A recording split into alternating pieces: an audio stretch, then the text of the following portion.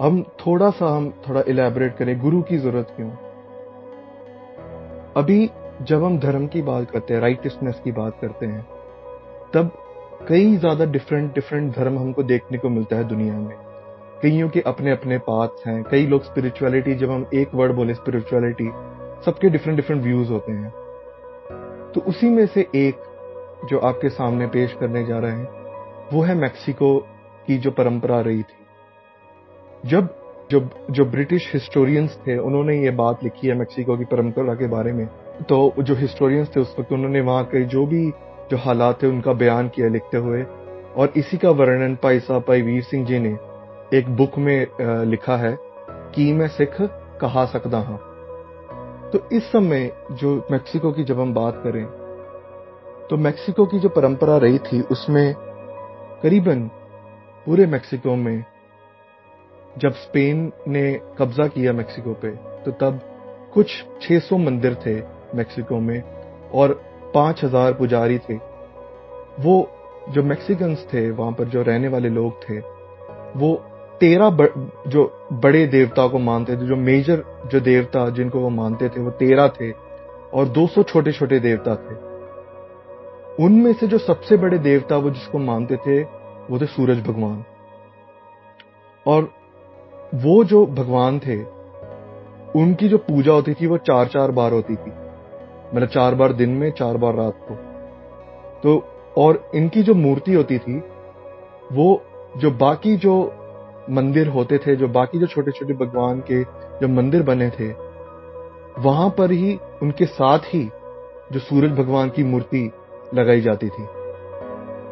एक ताला लोक लामी नाम के एक देवता थे जहाँ पर ज, जब किसी के यहाँ जैसे आपको भी आप भी जानते हो कि जब भी बारिश नहीं गिरती थी तो सब भगवान की और पुकार लगाते हैं। तो उसके लिए भी कई देवते होते हैं। सूरज के लिए अलग भगवान है ना? तो वैसे ही जो बारिश के लाने के लिए जो देवता थे वह थे ताला लोक लाम, लामी। सो वहाँ पर बयां होता है कि उस देवता को खुश करने के लिए उस देवता को खुश करने के लिए। जो गरीब होते थे ना जो गरीब जो मैक्सिक मैक्सिको में जो गरीब लोग होते थे उनके जो बच्चे थे उनको लाया जाता था और जो मंदिर में आके उनकी कुर्बानी दी जाती थी। सो so, एक अनुमान के अनुसार जो इंग्लिश रिसर्चर्स बताते कि एक साल में करीबन 2000 बलियाँ दी जाती थी पचास हज़ार तक बलियाँ दी जाती थी इंसानों की। जस्ट बिकॉज़ कि वो देवता, उनको लगता था कि वो देवता इससे खुश हो जाते हैं। अभी हर फेस्टिवल में देखा जाता था कि जो भी त्योहार होते थे उस समय तो वहाँ हर त्योहार में बलि दी जाती थी इंसानों की। एक तेज कतली पोका नाम के एक देवता थे, उनको माना जाता था कि वो इस सृष्टि के सृजनहार है, जो क्रिएटर है इस दुनिया के। वो तेज कतली पोका नाम के एक भगवान है। और उनको ये भी बताया जाता था कि उनका बहुत सुंदर रूप है। बहुत सुंदर रूप है उन देवता का। तो फिर क्या होता था कि उनको खुश करने के लिए यह माना जाता था कि जो राजा के जो सिपाही हैं तो वो और जो सुंदर दिखने में जो सुंदर आदमी हैं, उनको लाया जाता था। उनकी एक साल तक उनको अच्छे से खिलाया जाता था, अच्छे से उनका ध्यान रखा जाता था। और जब जैसे ही जो समा नज़दीक आता था, जब एक महीना बचा बलि का तो तब उनको अच्छे से वस्त्र पहनाए जाते थे और आखिर में उस देवता को खुश करने के लिए वो जो सुंदर जो आदमी होते थे, उनकी बलि दी जाती थी। अभी ये हम क्यों बात कर रहे हैं इस चीज़ की? क्योंकि स्पिरिचुअलिटी हर एक के लिए डिफरेंट डिफरेंट है। भगवान तक पहुँचने के रास्ता सबका डिफरेंट डिफरेंट है। लेकिन उस रास्ते पे चलते चलते हम कई चीज़ें कर बैठते हैं जो उस दरगाह में परवान नहीं होती। अभी जैसे हम जो जो हमने परंपरा की बात की, ऐसा नहीं है कि लोग खुनकार थे।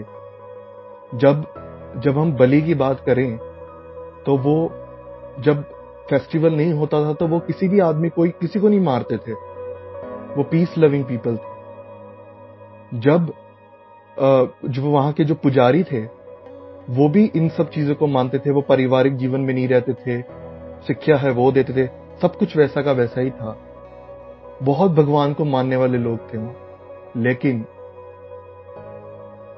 जो उनकी जो मेन जो हेड थे पुजारी, उनकी वजह से और जो परंपरा थी वी ऑल नो कि जो, जब कोई ऐसे बलिदान दी जाती है, वो प्रमाण नहीं हम ऐसा बिल्कुल नहीं कह सकते कि इनको भगवान से बिल्कुल प्यार नहीं था, लेकिन वो सही रास्ता जो था, उसका अंदाज़ा कई काफ़ी कम था। और हम इंडियन सब कॉन्टिनेंट की भी बात करें तो ऐसे कई ज़्यादा रीति रिवाज रहे हैं, जिसकी हम आगे सेशन में, जब गुरु नानक सीरीज़ के अगले सेशंस में जाएँगे, तब तो हमें एक एक करके जानने को मिलेंगी। तो तब जो गुरु हैं, जब आप नारायण कलातार है, जब वो पुकार लगाई गई हमने फ़र्स्ट सेशन में देखा था गुरु नानक सीरीज़ के एक पृथ्वी से एक पुकार लगाई थी कि आप ही मुझे बचाओ। तो तब जो आप नारायण कलातार जग में परवरे हो तो जब वो भगवान है, वो निरंकार रूप है, जो अपनी पूरी शक्ति लेके इस धरती पे खुद आए लोगों का कल्याण करने के लिए, और वो जो नाम जो है, वो नाम की दाद जिससे पूरी सृष्टि बनी हुई है, उसका नाम जपते जपते वो गुरु साहब ने हम सबको इक्वली बांटा। उन्होंने ये नहीं देखा कि अगर ये हिंदू है तो ही देंगे, मुसलमान है तो ही देंगे, नहीं। उन्होंने जो भी आया गुरु नानक देव जी के शरण में, सबको नाम दिया है सबको नाम दिया है।